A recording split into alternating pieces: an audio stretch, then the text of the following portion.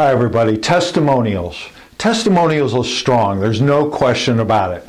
You know, if you're at the dealership, there's no stronger way to market and to advertise and have your customers do it for you. And at AutoMax, we're no different. We uh, actually do uh, what we teach. And when we're at a dealership, we ask two different types of people to give us testimonials the managers and the dealers that we uh, are retained by, and of course, the potential salespeople or salespeople that we end up training. So when you look at these testimonials, really listen to them you know, we can tell you how great we are and, and, what we do and all the behind the scenes work, but in reality, all you care about is the result.